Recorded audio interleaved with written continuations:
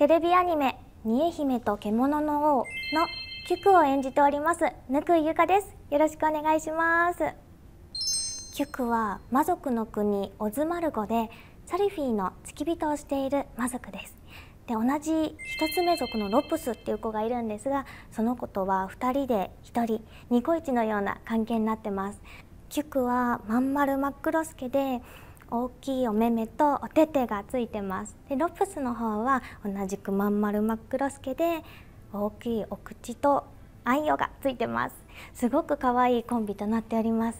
菊の方はすごく口下手であまり喋ることが少なくて逆にロプスの方がすごくおしゃべり好きでいろんな説明をしてくれたりするんですけども原作コミックスの先生のコメントがあるところがありましてそこに目は口ほどにものを言うということを実感しますっていうふうに書かれていて本当にそうであの画面上喋っていなくてもすごくお目目で表情が現れていて例えばあの床をポンポンポンポンって移動する子たちなんですけれどもあの間違って踏まれちゃったりすると次のシーンですごくその人を睨んでいたりとか本当画面で見てて喋ってないですけどすごく表情豊かで可愛い可愛い子だなと思っています。なのでそのロプスはおしゃべり好きでキュクは口下手だけどお目目ですごく表情豊かっていうところのコントラストのコンビがすごく素敵だなと思っているのでその喋らない分お目目の表情でいざ喋る時にはその言葉にもう二言としか二文字ぐらいしか喋らない時もあるんですけどもそれの言葉に心を込めて当たっていきたいなと思っております。もうサリフィーのことが本当に大好きなのでそのサリフィーがオズマルゴに来ることによっていろんな変化があるんですけれどもロップスと一緒に大好きなサリフィーと一緒に頑張っていきたいなとおりますのでぜひ放送をお楽しみにお待ちいただければなと思ってます。テレビアニメ「煮え姫と獣の王」でロプス役を演じております。藤原夏実です、えー、ロプスはですねあの魔族の国のオズマルゴっていうところであのサリフィーの付き人をしている魔族なんですけれども見た目の特徴としてはあの口が大きいっていうのが特徴的であと足も生えてますね。サリフィーにこういろんな状況の説明をしたりだとか他の人に対してもなんですけれどもいろんな人にあの説明をするような役柄なのかなというふうに自分は感じているんですけれども性格としてはすごく一生懸命で ちょっとウブなところがあるのかなっていうふうに私は感じております。すごく可愛い子です。ロプスはえーと、やっぱ一生懸命喋ってこういろんな人に思いを伝えているっていう印象が強かったので私自身もこうこうロプスに合わせてロプスの口の大きさとかに合わせて一生懸命こう思いを伝えるようなお芝居をしているので楽しく一生懸命に演じていこうと思っております。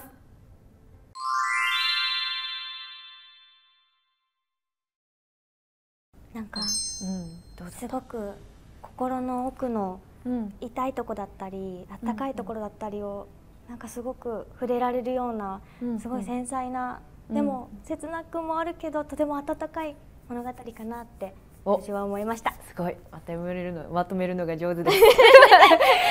そうですね。もう本当読んでいくうちにだんだんとね、うん、本当に心が朗らかになっていく作品だなって思いますし、うん、すごく絵のタッチもなんかほわっとしてて綺麗で、ね、ね本当になんか最初はねちょっとやっぱサリサリフィーのことだったりとか、うん、いろんなシリアスなねところから入ったりするけど、うん、だんだんこうサリフィーが周りの人とさ、うん、関わっていくことでね、うん、なんかこっちもサリフィーにすごく感情移入して。よかったねみたいな感じにどんどんどんどん明るい気持ちになったりするのもすごく心地よかったりもして。読んで読んでいけば読んでいくほどね、うん、なんかこう暗かった思いがどんどん浄化。ね。は ってなるよね。すごい。いろんな魔族がいるので、うんうん、そう。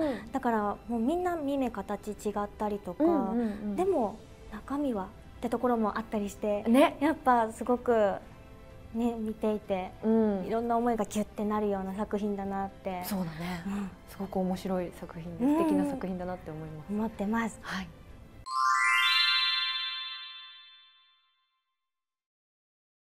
オーディションね。オーディションね。いかがでしたか？オーディション。私はあのキュクとロプスを両方あの受けさせて両方？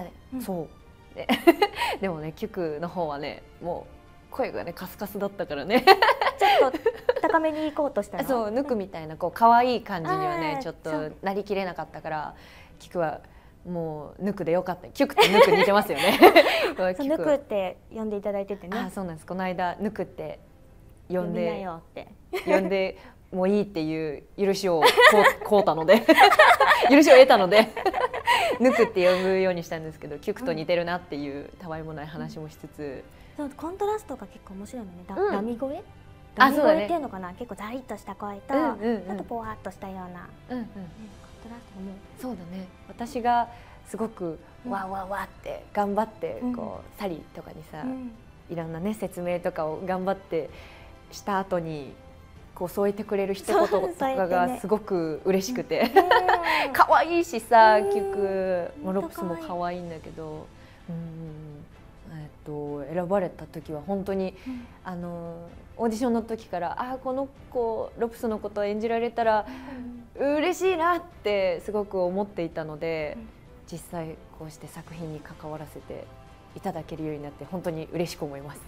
私もともと原作の大ファンで、うん。本当にこのオーディションの話が来た時からもうもう大興奮で、ああ絶対携われたら嬉しいと思っうんうんてうん挑んだので、本当に嬉しくって、もう本当可愛いの塊じゃないですかキュクとロプス、本当画面の中で、うん。もうちょこんといるだけで結構いろんな表情を見せてたりとかして、ね。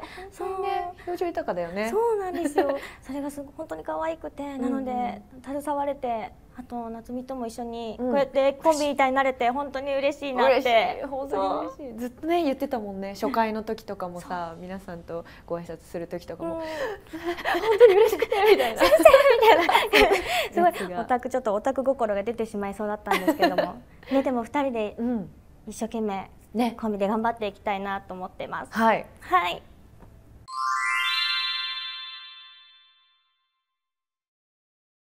結構喋るもん ね。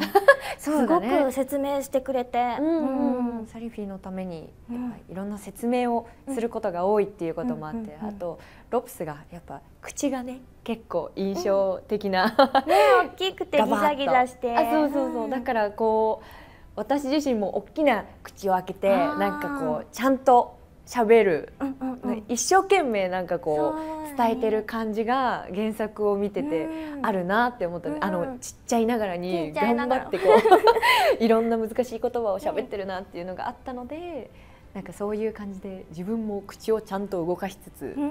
一生懸命喋るみたいなことをちょっと意識はしてるかなとは思うんですけど、どね。うん、聞くは逆に全然口ベタで言葉少なげなので、可愛いそこがねまた可愛いんだけどね。でもよくなんかピーとかうん。うんとかそういううん。なんかリアクションのシーンも結構あるので、うん。そこの言葉少ないところをうん。心真心込めてうん、うん。もうすごいお目目が可愛くいてや本当に、表情豊かなので、ね。それをどう声で乗せていくかっていうのはやっぱり、なんか言葉数少ないけど動きとかね結構大きいからさ。手とかもふんふんってなってたり、そうわーみたいな。わーみたいな時とかもあったりして。そうそう。ロプスにない表現の仕方でうん。すごく作品を素敵にしてくれてるなっていうのを思うのでロプスがねね。わーって喋った後に本当にそっと添えるようあな言葉も結構多いのでうん。やっぱり一緒になってうん。ねキュクとロプスの気持ちに寄り添ってね。いけたらなと思って。うん頑張ってます。はいうん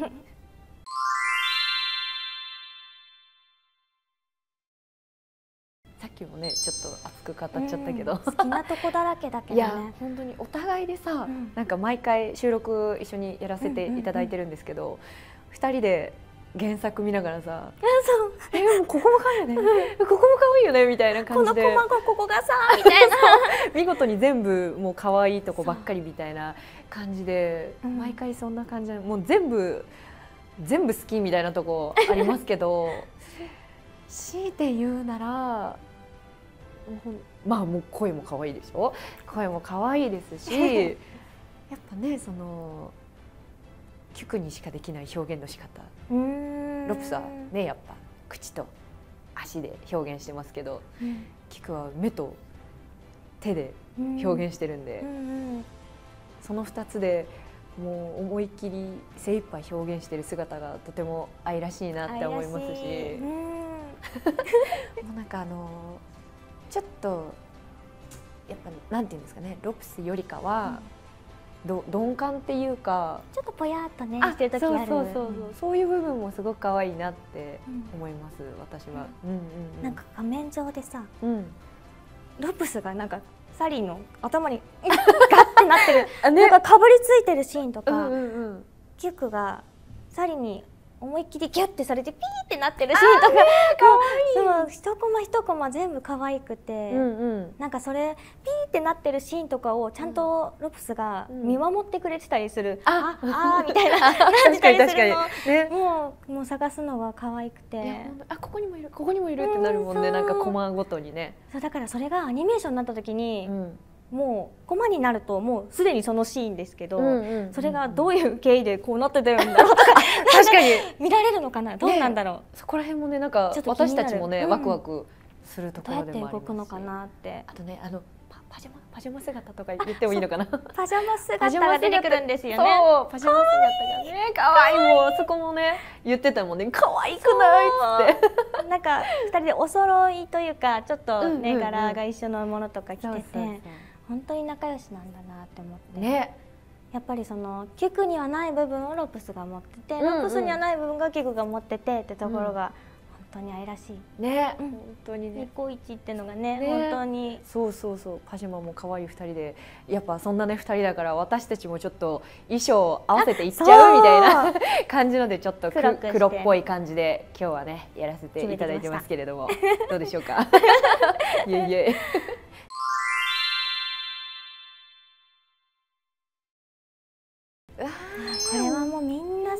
けどね。そう。みんな好き。なんかそれぞれうのキャラクターのとこあの心の中が見えるシーンは結構ああるので、うんうんうん。ちょっと語り出したらもそうだね。もう収まりきれない。全然ねもういっぱいありすぎてう個性豊か。いや本当に。うえー、選びきれないよね。本当に。アヌビスさんのさなんかこう、うん。ちょっとなんかこうあれ？シュ姑感みたいな。姑っていうのかな？小獣とかっていうのって感じのそ立ち姿もきねね素敵だし。近寄りがたいって思いきや、うん。なんかちゃんとこうコミカルに突っ込んでくださるうんうんうんうん。ところとかも、ちょっとサリフィーになんか翻弄されるシーンだったりとかもうんうんうん可愛い。ありますしもうサリフィーはサリフィーであのピュアなねピュアなところでうん。もう王様をねこう丸めうん。込め丸め込む。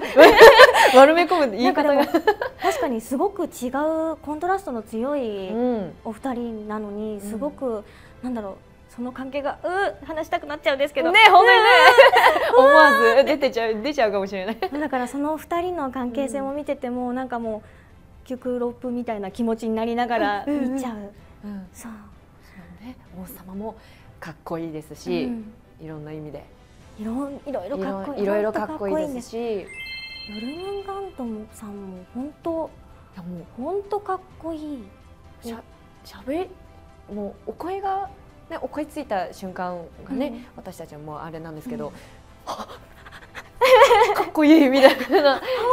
みたいな。そうそれを見てるアミトさんの気持ちにもなるし。いや本当アミトさんもまた素敵でしたよね。本当に面白い、めちゃめちゃ、うん、面白いですね。結構インパクトの強い。うんうん。上品なようですごく。お姫様ですからね、うんうんうん。でもすごくなんか、表情豊かでね、うんうんうん無邪気なところも乙女なところがやっぱ。あね、うん。素敵だよね本当にね。なんかベンヌベンヌさんもうベンヌさん本当に。ベンヌさんは本当お口がちょっとね悪うございまして。ございまして。原作のね時点でもなかなかインパクトの強いキャラクターでしたけれども。あんなちっちゃい感じなのに。ね。ね。うん。あれからね。へへとか言っていやあでも本当ねに語り出したらキリがないのいや本当にちょっと。全員がね。ね全員がも気になる。今後もそうですし。見ていたいキャラクターたちですよね、うん。楽しみですね放送が、今後が私たちもうん。ねそうですね。いろいろ。かん出てくる順番もうん。いろいろだし、ですし、そう今後どうやってみんなの関係性が変わっていくのか。そうですね。うん。楽しみです。楽しみです。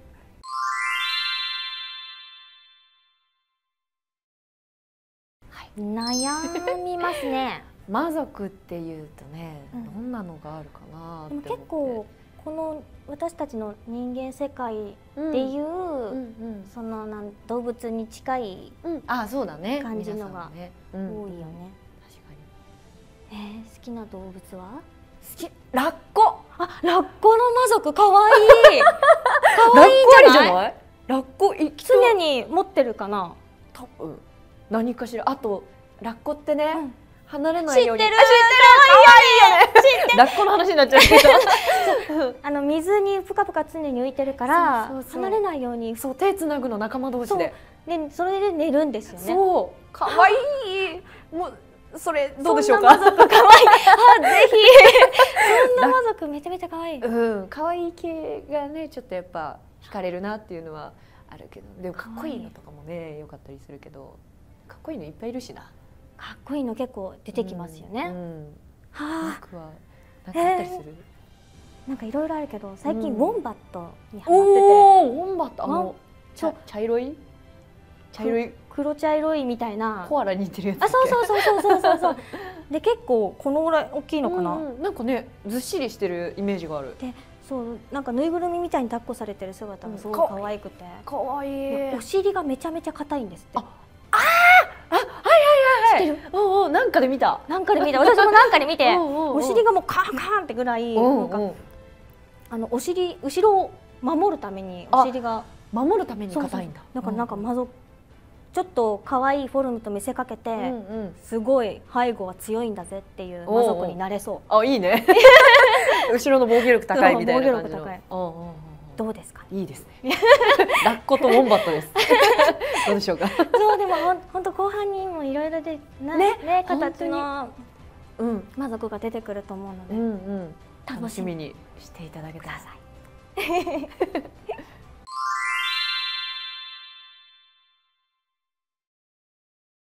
本当に温かくて切なくて心にすごく染み込んでくるお話だなと思っていますでロープスとキュクと一緒にあのサリフィーの大好きなサリフィーのことを思いながらいろいろ奮闘していくと思いますのでぜひぜひ動く姿やっぱ色がついてあのいろんな魔族の、ね、形耳目形がどういうふうに描かれていくのかとか本当に楽しみなのでぜひぜひ放送お楽しみにお待ちください。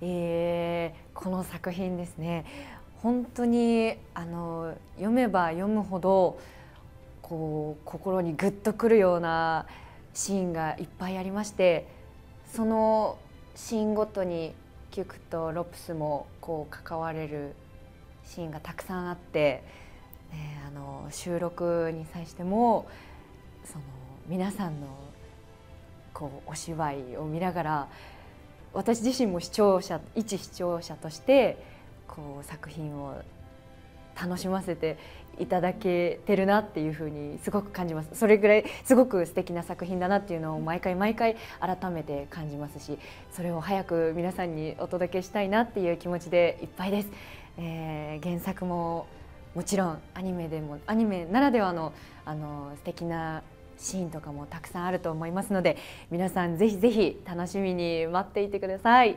よろしくお願いいたします。テレビアニメ「新姫と獣の王」2023年放送です。放送まであともう少しお待ちください。応援よろしくお願いします。バイバイ。